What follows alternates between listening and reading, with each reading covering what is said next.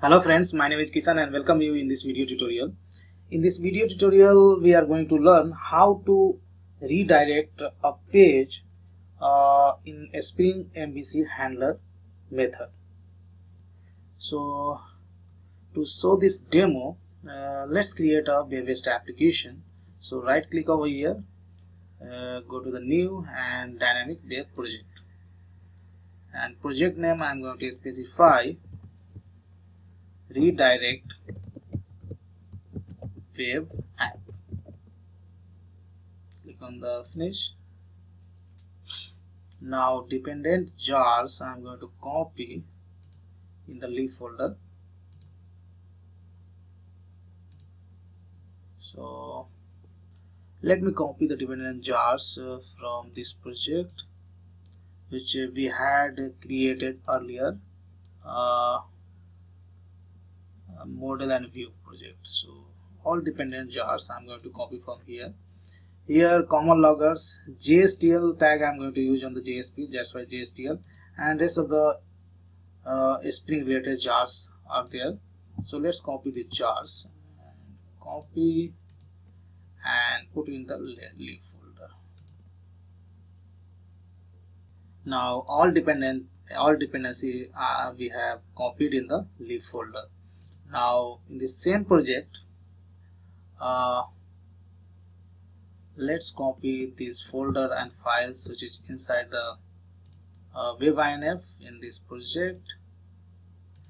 So by the way this project I had created in my previous videos video. So if you did not watch my previous video then I request you to go and watch this video and then come to watch this video. Uh, now I'm going to create this Java classes as well so let's copy this Java class and uh, put into this src folder. Now one more thing I would like to copy that is one of the JSP page which uh, we had created in this project in previous video. So in views we have a register register that I'm gonna also copy. Okay now most of the files I have copied. So if you look into the web.xml then web.xml I had registered dispatcher servlet uh, so when you work with the Spring MVC framework then dispatcher servlet works as a controller. So that controller has to register in the web.xml now we have a web configuration file that is also called a, a, spring web configuration file. Here i have registered one spring bean. Is called internal resource view resolver who is responsible to basically resolve the uh, actual view name. And here i have registered three package for auto scanning for controller service and as well as DAO layer so basically this DAO layer is just fake DAO layer uh, real, I, am not really going to interact with the database. Just I have made an in memory in memory database. So I have used our uh, list to make this demo in previous video. So same I have copied over here. Now lib contains all dependency. Now if you look into the Java class then Java class has a controller DAO user a model class and finally we have a service class. So from controller I'm making call to the service and from service call delegates to the DAO layer. And uh, basically DAO as well as controller layer and DAO uh, service and controller basically these all layers uses this model class. Now some modification I have to do in basically JSP page. So let's go to the view and here this is a view page. Here to replace this guy. And here I'm going to yeah that is post is absolutely fine. And uh, and this is basically user list. Once user get registered then all user information we are displaying on this page. Now come to here controller. So in controller basically we are going to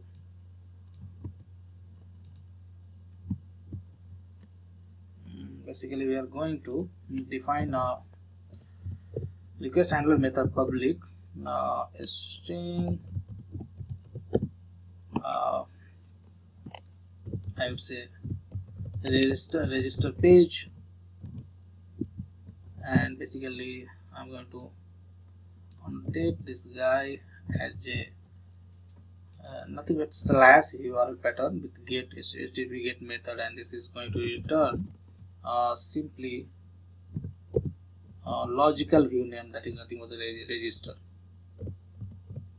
So that once we'll run this project then uh, register.jsp will be displayed to the client.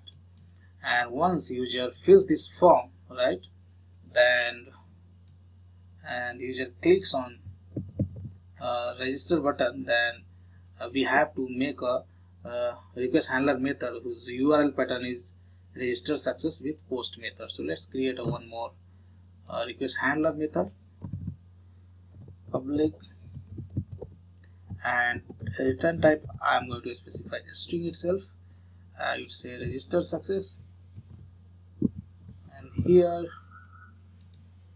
uh, we have to make this URL and here method would be post because this form we are going to uh, submit as a HTTP method post. Okay? And here basically I'm going to collect all parameters uh, all these parameters request parameter right? From which uh, user wants to create an user. So I'm not going to type it. Already we have uh, written so many examples in previous video tutorials so we can copy those uh, things from existing example. So let me find how to so here from here we can copy right? So here we have used request param to collect every individual attribute right? So sorry. From here you can place uh, basically we can copy so many things from here. Okay, we have made a map. I don't want to use map. I want to use basically sorry.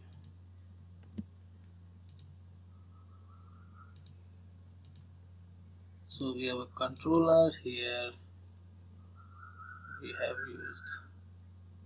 So let's copy this guy. And uh, here we can use like this right? So let's see what happened. What's wrong with this guy? Return type is asking me to supply the return type. So basically we are just getting the every parameter from the uh, submitted uh, HTML form and we have created a user object and from here we are making call to the service layer. And this is going to return a string itself. So let's make as of now double quotes. And I would say create user and I'm passing the user object from here.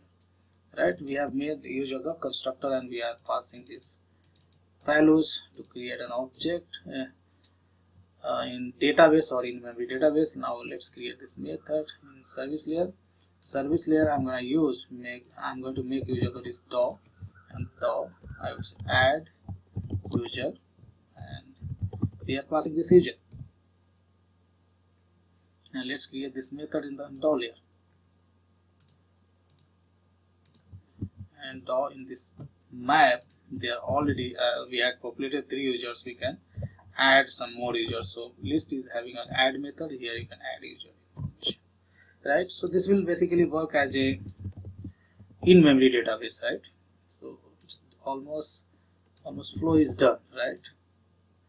Now here I want to when you, first time when user runs this project then register.jsp will be displayed to the client. And when user after filling this register page when user clicks on the register then request will go to the this method right?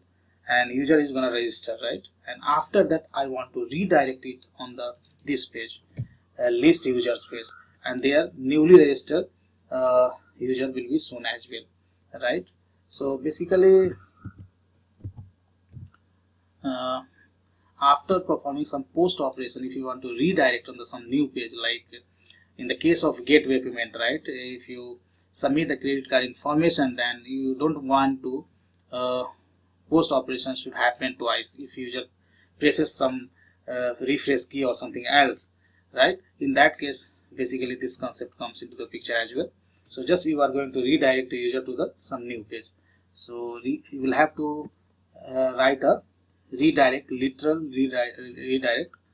So redirect to redirect on the uh, new page and colon slash and you will have to specify the url pattern of another method right? And you can make call to the this method by specifying list user. So you will have to append this url uh, this literal to write redirect this is the way to do that right? And why this is saying that local variable not used? We have used right? So, okay this was not saved that's the reason. Now almost we have done. Now good to go. Now here we can make a if you want then we can make a back button. So h sorry anchor tag we can make. And we can write href and here we can write uh, we can again move on the redirect if user by redirect slash and I would say back button. Okay. Now let's run this project and see what happens.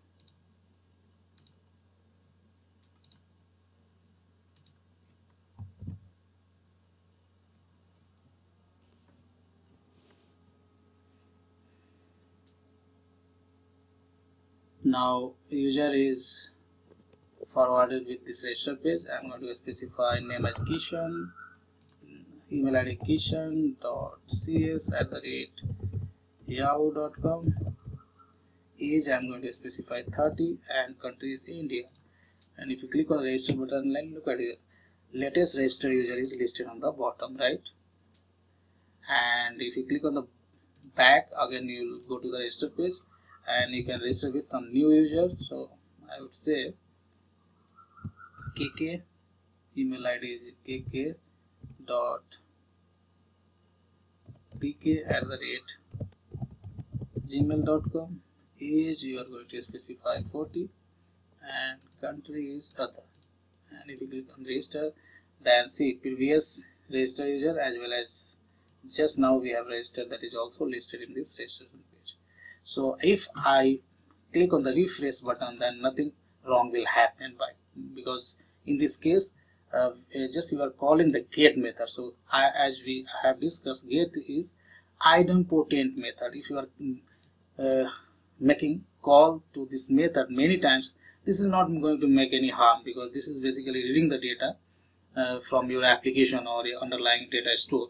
But these operations happens twice then some wrong thing will happen. In this case just you are registering a user but in financial project you might uh, uh, uh, you might be dealing with the some like credit card information or debit card information then there is possibility money will be deducted twice uh, from your account. So make sure that post shouldn't happen twice right? Because this is not idempotent basically you are performing some write operation on the server side. So, but read may happen more than once. Nothing will happen because just you are reading data from the uh, data store. So that's the main thing i wanted to show you in this video tutorial. So in case you want to redirect the user to the another url if some certain condition is met, just append uh, just append a redirect before the url right? So in this example user will be redirected to the uh, uh, list users.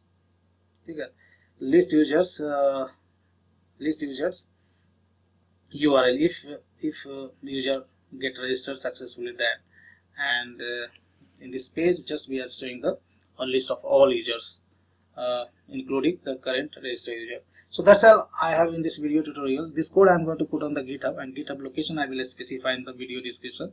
Thanks for watching this video and see you next video tutorial